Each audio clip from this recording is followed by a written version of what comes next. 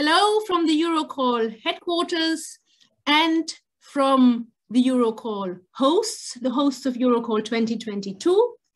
We hope that this message finds you in good Eurocall spirits and full of anticipation for our forthcoming conference in a couple of weeks.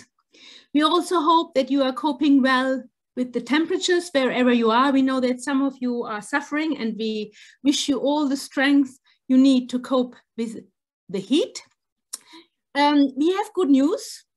You've probably realized that the program is out and ready for you to scrutinize. And with this, I hand you over to Brani. Thank you, Miriam. Yes, the agenda is out. You can check the program or the agenda online by uh, following the link on the conference website or uh, on the Whova app. And please check for any changes or discrepancies and let us know so that we can fix them. So uh, I hope that uh, you are all cool in getting ready for the conference and we are all hot here in Iceland for getting ready uh, to make the program very nice for you. So thank you. Great, Brani, thank you. And also please don't forget, registering for the conference is the first step.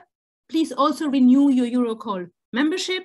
And please, please join us for our annual general meeting that is going to take place online, of course, on Thursday, August 18th at 4.45 p.m. Iceland time. We need you all there. And between now and the beginning of our conference, we wish you all the very best and we look forward to seeing and hearing you in August. Be well.